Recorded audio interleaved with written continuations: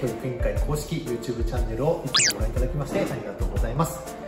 えー、今日は学び T センター利用サークルの活動紹介ということで、えー、各週で毎月2回活動しているバルーンパーティーの皆さんの活動を紹介したいと思います。えー、今、見えてますでしょうか？奥の会議室で今作品制作に励んでおります、え、その様子を皆さんにご覧いただきたいと思いますのでよろしくお願いいたしますの緑の大きさとだんだんこうシューって空気にと同じぐらいに合わせたら合わせたらここはもう口巻きをね一回つまんだの離してもらって口巻き結んでもらってグリグリグリって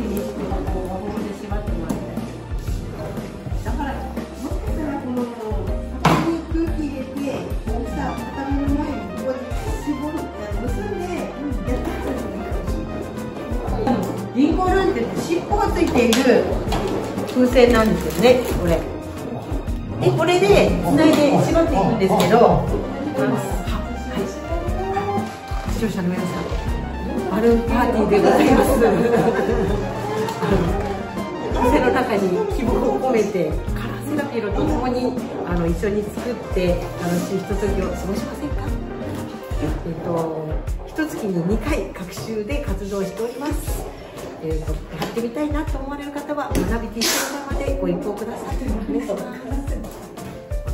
ター町民会館でもお問い合わせ受け付けております。ぜひぜひ入会希望の。方はお問い合わせいただければと思いますので、よろしくお願いいたします。孫に作ってあげる。のがね、あげて喜んでくれる。のがね。春ですからおひな様とかそのでその時期時期によって、まあ、特に冬でしたらクリスマスのツリーとかサンタさんとか作って、まあ、それをお友達とかお子さん、まあ、お孫さんとかいらっしゃる方で。すごく喜んでもらって、まあ、自分の家に飾ったり、まあ、皆さんそれぞれ少しゆとりを楽しんで、喜んでもらってなんか作りがいがあるなって思います。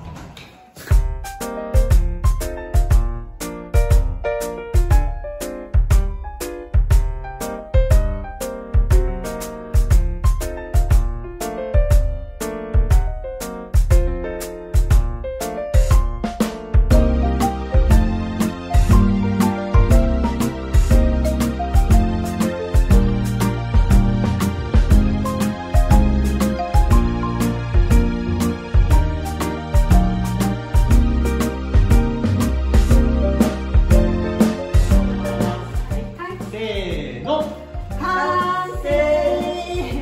誘拐お待ちしてます。